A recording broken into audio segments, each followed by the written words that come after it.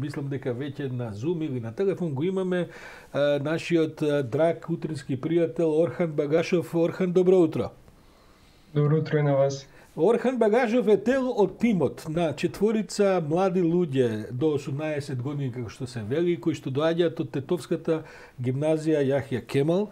Во тимот се а, а, Орхан Багашов, кој го гледаме, Тео Китановски, Борис Ночески и Ана Марија Илиева, а кои што неодамна ја освоија златната медала, односно првата награда на еден меѓународен надпревар за младинци до 18 години, бидејќи излегува со проектот на бионичка рака, кое што ги собори конкурентите од 36 земји, ја освои првата награда и сега продолжува да гази натаму со подобрување на целата целиот тој целата таа иновација. Орхан, ајде малку повеќе детали. Кај бевте, кој беа бевте онлайн, знам, ама за што станува збор? Да, прво сам само да кажам дека ние сме од Јахја Кемал во Скопје. А, се извинувам, бидејќи... Јас живеам во, во Тетово. Така е, добро, одлично. Uh, иначе, околу проектот, uh, ние направивме бионичка рака, uh, што е многу поразлична од другите, поради тоа што е uh, најефтина, ради тоа што е 30 пати поевтина од, uh, од досегашната најефтина рака тоа успеавме да го направиме така што имаме уникатен бизнес модел и уникатен уникатен проект поради тоа што нашата беничка рака се стои врз тоа дека секој може да направи сам на секое место во земја, на секое место во светот, во секое време и секој да може да склопи. Се работи за отпечатена рака на 3D печатар, така ли е?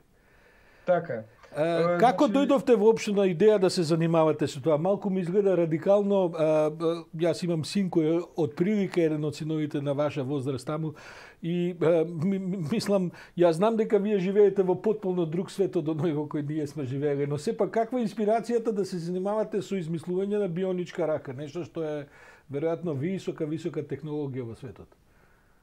Да.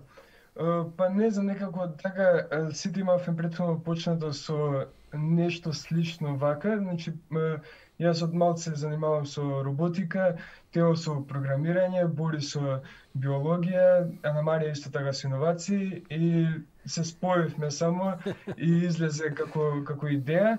И околу 3D принтање исто така од помала возраст се занимавам со со 3D принтање и претходно имав направено 3D печатар И така никога секој своите делови си ги зазема од самиот почеток со уникатни идеи.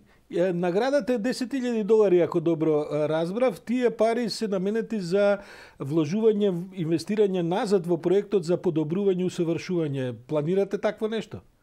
Имате ми се да, чини да, корисник па... во Шведска со кого сте во контакт околу раката и кој ви ги пренесува искуствата од користењето. Да. Па да, наградата е за следната фаза, што треба да трае една година. И во таа една година треба тие 10.000 долари да ги потрошиме на некој начин за усовршување на проектот и планираме после таа фаза од една година да стигнеме до финалниот продукт како белничка рака. Во моментов кога што спомнавте е во бета верзија, тоа значи дека секој што сака да ја тестира би можел да ја тестира и да ни е, дава забелешки за што би можеле да промениме во финалната во финалната верзија. Uh, исто така имаме еден корисник во Шведска што uh, ја направи беничката рака и ни дава сугестии за што би можеле во финалната верзија да промениме. Uh, Орхан, да ве прашам, Јаха Кемал е познат по тоа дека ги поддржува своите ученици, ги храбри и така натаму во занимавање со вакви иновативни и би рекол шампионски дострели во тоа што го прават. Имавте ли поддршка од училиштето и, и вие? Па да, училиштето мислам дека најголемата нај најдоброто да што е кај училиште кај Јахи Кемал е тоа што само тоа само до тоа што не спои поради тоа што во Јахи Кемал има доста е, талентирани ученици и сите за тоа мислам дека и сите се најдовме на на исто место и да да успееме да направиме ваков тим што ќе дојде до ваков проект.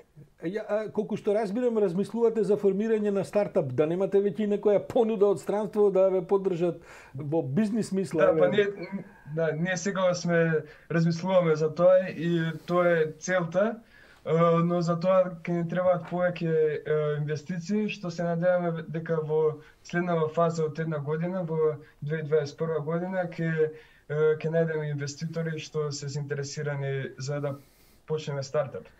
Орхан, последно прашање, колку време поминувате на компјутер дневно? Викаат родителите како што ја дома се дерам по некој од децава заради по што знам 5, 6, 7 сати на компјутери. Па сега во оваа состава дури повеќе може може се каже. Тоа е таа приказна, јасно ми е се. Орхан Багашов благодарам многу дел од тимот во кој што уште учествуваат Тео Китановски, О, Борис Ночески, Ана Марија Илиева, сите од Јахја Кемал од Скопје. Честитам за оваа огромна а, награда не толку заради парите, толку колку заради поттикот и ви пожелувам а, за бионичките раци може за многу работи да се разговара, а може би кога ќе помине оваа криза ќе се видиме во студијава малку и тука да развиеме една дебата. Багашов благодарам, се најубаво тоа е таа нова генерација почитувани гледачи и слушатели кои што нема да ја разберете ако сте дел од мојата генерација, бидејќи некој да измислува бионички раце на 17 годишна возраст, уште пред полнолетство, Е, тоа е тоа што веројатно ја оправдува онаја поговорка дека со ваква младина имаме добра иднина. Нема да цитирам чија беше таа поговорка, оти денес како спомнете едно име, одма во Софија се создава констернација и може да дојде до дипломатска нота со протести.